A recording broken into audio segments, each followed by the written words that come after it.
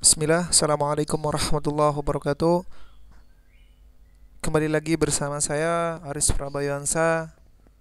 Kali ini kita akan membahas materi IPA Ini merupakan materi lanjutan dari video sebelumnya Yaitu tentang struktur bumi. Materi ini diperuntukkan untuk siswa kelas 7 SMP Saya akan membuat tiga video untuk mat, uh, untuk bab ini yaitu bab 10 atau materi berjudul struktur bumi dua video. Saya ambil referensi dari buku Erlangga yaitu buku pokok atau buku pegangan siswa. Sedangkan yang kedua yang ketiganya itu saya akan ambil dari internet. Nah, video ini adalah poin-poin yang penting saja yang saya akan sampaikan. Jadi teman-teman perhatikan dengan jelas dengan saksama. Kita akan masuk ke materi. Materi yang pertama sudah sedikit saya jelaskan apa itu litosfer Nah, ini materi yang kemarin saya ulas lagi sebentar, ada peta konsepnya dan ini litosfer. Kemarin kita sudah sampai materi sini. Sekarang kita akan masuk ke materi itu bentuk permukaan daratan. Teman-teman, bentuk permukaan daratan merupakan gambaran dari e, daratan yang ada di sekeliling kita. Misalnya itu ada turunan, ada tanjakan, ya ada gunung misalnya. Itu kan daratan semua. Nah, itu di sini e, akan dibahas secara khusus ya apa itu pengertian beberapa apa saja sih bentuk permukaan daratan? Ini adalah poin-poin pentingnya saja yang saya akan ulas. Di antaranya adalah ada dataran rendah, ada dataran tinggi, ada lembah, ada ngarai, ada bukit, ada gunung, ada pematang yang terdiri dari punggung dan igir. Teman-teman mungkin sebagian besar sudah mendengar istilah-istilah seperti ini yaitu di, ketika di sekolah dasar. ini hanya menyampaikan kembali lagi, tapi ketika masa SMP ini akan beda ya, sedikit meningkat materinya dibandingkan ketika S SD atau sekolah dasar. Kita akan uh, jelaskan di sini apa sih dataran rendah. Dataran rendah yaitu daratan melandai hampir rata, ketinggiannya kurang dari 200 meter di atas permukaan laut.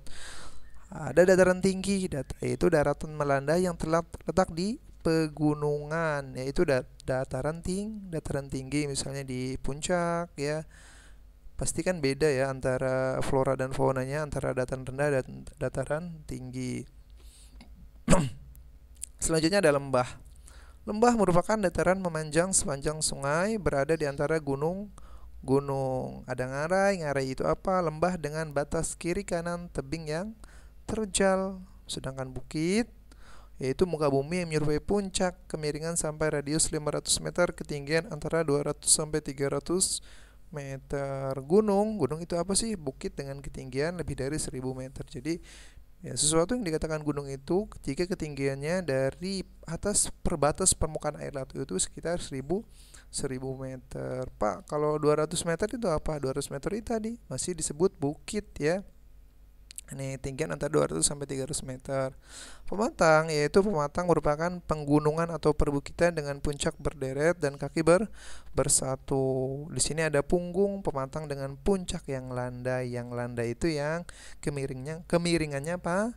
panjang ya. Igir itu pematang dengan puncak tajam. Jadi kemiringannya itu uh, pendek dia ya kemiringannya. Baik, Teman-teman mudah-mudahan paham ya bentuk permukaan daratan ini. Ini adalah poin-poin pentingnya saja. Jadi bisa dicatat atau bisa dihafalkan bisa juga. Kita akan lanjut ke slide berikutnya yaitu ada bentuk dasar laut ya.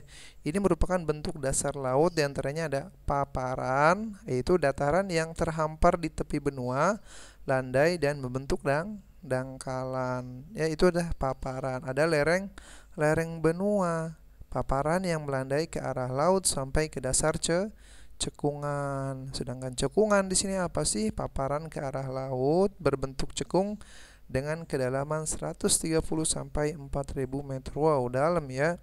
Itu disebut cekungan. Ada juga palung, ya palung cekungan berupa lembah sempit dan dalam dengan dinding yang curam. Ambang laut yaitu gunung laut yang puncaknya muncul ke permukaan. Nah, ini adalah bentuk dasar laut. Ya, ini ada semua di buku.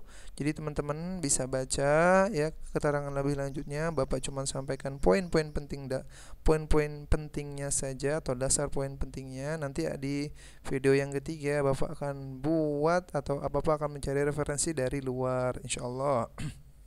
Kita akan lanjut ke slide berikutnya. Paham ya? Nanti bisa dicatat.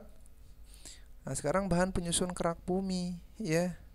Kerak bumi uh, ada batuan beku, ada batuan metamorf, ada batuan sedimen ya. Kerak bumi merupakan salah satu lapisan dari litosfer ya, berupa batuan keras yang harus yang terus berubah karena arus material cair panas di kedalaman bumi ya.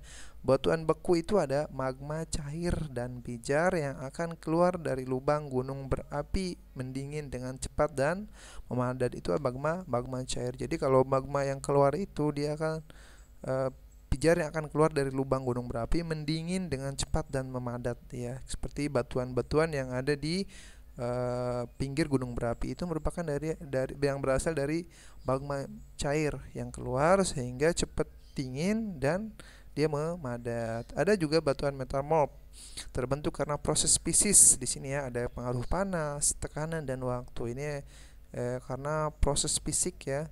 Ada juga batuan se sedimen yaitu perombakan batuan lain atau karena proses kimia membentuk endapan yang memadat. Ini adalah proses kimia kalau sedimen.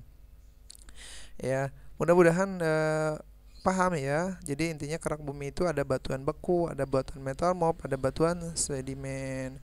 Kalian bisa baca di sini. Jadi simpel banget. Kita lanjut ke materi berikutnya. Nah, gunung berapi. Gunung berapi lihat Nah, merupakan suatu sistem saluran fluida. Jadi di sini dia sistem saluran fluida ya panas lava di sini ya disebutnya lava yang memanjang dari kedalaman 10 km di bawah permukaan sampai ke permukaan bumi termasuk endapan hasil penumpukan materi yang dikeluarkan saat meletus. Itu merupakan sistem saluran fluida jadi gunung berapi itu. Ketika kalian belajar fisika tentunya sudah dibahas apa itu fluida. Ya seperti hukum Pascal fluida ya itu sudah sebagian kecil sudah di sudah dibahas di materi sebelumnya. Nah, ada klasifikasi ya gunung berapi itu ada beberapa klasifikasi berdasarkan catatan sejarah erupsi. Ada tipe A, ada tipe B dan tipe tipe C berdasarkan sumber erupsi. Ada pusat, ada samping, ada celah, ada eksentrik. Ini kalian bisa lihat penjelasannya di uh, buku Erlangga. Nah, sedangkan berdasarkan kuat letusan dan tinggi tinggi dan tinggi tiang asap ada tipe Hawaii, ada tipe strombo strombolian, ada tipe plinian, ada tipe subplinian, ada tipe ultraplinian dan ada tipe vulkanian dan tipe surtesian dan proto proto Pretov linian ya juga berdasarkan bentuk ada stratovolcano ada verisai ada cinder cone dan kal kaldera. Nah, ini berdasarkan catatan sejarah, berdasarkan sumber erupsi, ada ber, berdasarkan kuat letusannya, ada berdasarkan bentuknya. Ini klasifikasi dari gunung gunung berapi. Kita akan cek lagi gunung berapi, bahaya letusan gunung berapi. Bahaya langsung itu adalah leleran lava ya karena ketika gunung berapi meletus dia akan mengeluarkan lava ya. Ini sangat panas makanya ketika ada gunung yang uh, aktif uh, biasanya radius sekitar 10 km itu jangan ada uh, warga atau orang yang mendekat karena kepulan asapnya juga atau bahaya yang ditimbulkan dari gunung berapi itu cukup cukup tinggi. Ada aliran piroklastik atau awan panas. Nah, ini awan panas ketika meluap ke atas itu dia panas ya. Makanya daerah-daerah yang berapi itu ketika ada letusan dia terjadi awan panas ya. Maka pandangannya uh, abu ya abunya. Abunya itu kan dari awan panas itu ada abu sehingga pandangan juga e, baik pandangan maupun pernapasan akan ter terganggu. Ada jatuhan piroklastik ada leher letusan ada lahar letusan ya ada gas vulkanik beracun. Ini sangat berbahaya ya. Tapi biasanya ini dimanfaatkan e, untuk kesuburan tanah ya. Jadi daerah gunung berapi biasanya um, daerahnya daerah yang subur ya. Bahaya tidak langsungnya nih. Ini kan lahar hujan, banjir bandang. Ini bahaya tidak langsungnya. Ada longsoran vulkanik, sebur seperti abu vulkanik itu sebenarnya bahaya tidak langsung. Tingkat isyarat gunung berapi di Indonesia ada normal, waspada, siaga dan A awas ini tingkatnya yang paling tinggi itu awas normal. Ketika sudah normal dia akan meningkat ke waspada. Ketika sudah mau meletus misalnya atau ketika meletus sudah siaga maka dan siaga ada siaga satu siaga dua dan siaga tiga. Dan awas ya ini juga nanti ada tingkatannya juga. Awas itu ya sudah berarti sudah uh, urgent banget daerahnya. Kita kan cek lagi ini gempa bumi sekarang tadi gunung berapi. Sekarang gempa bumi. Gempa bumi, nah gempa yang kuat yang kuat di dasar laut dapat menyebabkan su tsunami. Ketika ada gempa di sini di dasar laut yaitu adalah pergeseran lempengan bumi ya, maka akan terjadi tsunami ya. Lihat Beberapa istilah terkait gempa yaitu epicentrum, sumber yang menyebabkan gempa di bawah lapisan tanah. Ada epicentrum, titik di permukaan bumi tepat di atas titik pusat gempa. Alat dan seismograf alat pencatat getaran permukaan dan gempa bumi. Nah, itu dari dari mulai apa gunung berapi, mudah-mudahan ada juga uh, gempa bumi. Mudah-mudahan teman-teman sampai dengan ini paham ya. Jadi tentang struktur bumi. Nah, dari sini apa dari gunung berapi, bahan penyusun gerak bumi ya. Terus juga gunung berapi dan gempa bumi Mudah-mudahan teman-teman bisa memahaminya ya. Uh, nanti bisa dicatat poin-poin pentingnya dan emang emang ini Bapak jelaskan hanya poin-poin pentingnya saja.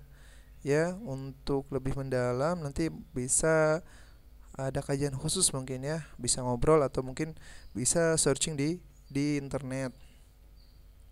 Sekarang uh, ada cuaca ya. Ada cu cuaca. Ini adalah bagian dari struktur bumi juga, itu cuaca Cuaca di sini adalah keadaan uh, udara dalam waktu tertentu pada tempat tertentu. Nah, ini bagian dari troposfer ya, merupakan lapisan atmosfer paling bawah atau paling dekat dengan permukaan bumi. Tempat terjadi berbagai peristiwa cuaca di sini. Cuaca adalah keadaan udara dalam waktu tertentu pada waktu pada tempat tertentu. Jadi keadaan udara dalam waktu tertentu pada tempat tertentu. Pak, kalau iya cuaca itu misalnya nih di tempat Bapak di Cibubur hujan, belum tentu di Bekasi hu, hujan itu namanya cuaca. Tapi kalau iklim, iklim itu keadaan uh, keadaan suatu wilayah ya. Jadi suatu wilayah atau uh, dalam waktu dan dalam waktu tertentu padat pada waktu pada tempat tertentu juga. Jadi kalau bedanya iklim sama cuaca itu nanti kalau cuaca itu hanya sebagian saja, tapi kalau iklim itu menyeluruh. Ya, itu sebut iklim. Misalnya sekarang di Indonesia sedang iklim iklim penghujan, maka bisa dikatakan hampir seluruh wilayah Indonesia mengalami hujan sedangkan cuaca kadang kadang misalnya hujan di tempat ini berbeda di tempat yang di tempat yang lainnya. Unsur-unsur cuaca di sini ada suhu udara, alat terukurnya apa? Termometer. Ada tekanan udara, baro, barometer. Ada kelembaban udara, alat ukurnya hygrometer dan arah dan kecepatan angin yaitu anemometer ya.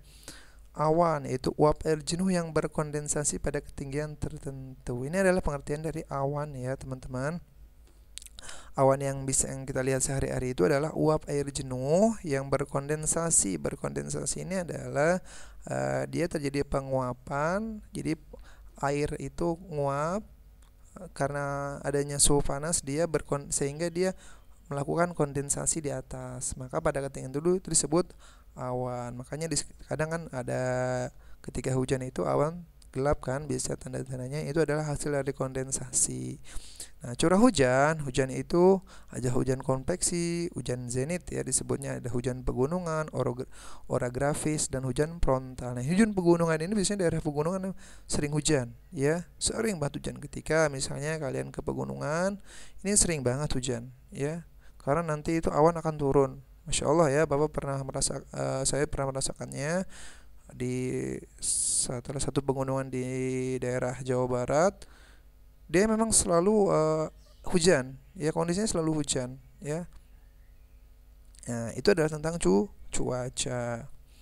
Nah, cuaca itu ini macam-macam awan di sini ya. Ini sebenarnya udah ada cuaca itu ada troposfer pada lapisan atmosfer ya. Ini lihat.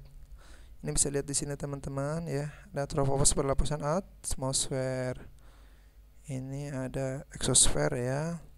Ada termosfer. Nah, ini adalah macam-macam awan. Ada awan sirus, ada siromilu, terus ada awan Columbus ya, ini awan cumulus. Ini kalau nggak salah, ini pernah dibahas di kelas eh, SD ya, di sekolah dasar di kelas 3 sudah mulai diperkenalkan nih di IPA pelajaran IPA. Awan Columbus, awan Cirrus ya. Nah, ini adalah bagian-bagian awan stratus misalnya. Awan stratus itu kenapa dapat menyebabkan hujan misalnya ya. Awan Columbus itu cerah misalnya. Awan cumulus itu bagaimana ya. Eh, teman-teman bisa lihat juga ada di buku Erlangga ya penjelasannya. Kita lanjut ke slide berikutnya. Nah ini ada contoh soal. Nah ini kayaknya udah materi sebutkan macam awan berdasarkan ketinggiannya awan rendah itu antara 0,200 2000 awan menengah 2000 sampai 6000 meter awan tinggi lebih dari 6000 meter. Nampaknya materi untuk uh, dari buku Erlangga dicukupkan sampai sini ya teman-teman. Nanti kita akan bahas di video selanjutnya yaitu adalah pertemuan terakhir dari tiga pertemuan materi struktur bumi mudah-mudahan apa yang saya sampaikan bermanfaat dan bisa dipahami oleh teman-teman semua. Eh, kita ketemu lagi di video yang video selanjutnya atau di video-video saya selanjutnya terutama nanti kan saya video yang ketiga saya akan bahas dari referensi dari luar ya supaya lebih mendalam lagi atau supaya wawasan kita bertambah dari luar tidak hanya berfokus pada uh, satu referensi saja mudah-mudahan bermanfaat kurang lebihnya Mohon maaf apa yang saya sampaikan. Sallallahu Muhammad. Assalamualaikum warahmatullahi wabarakatuh.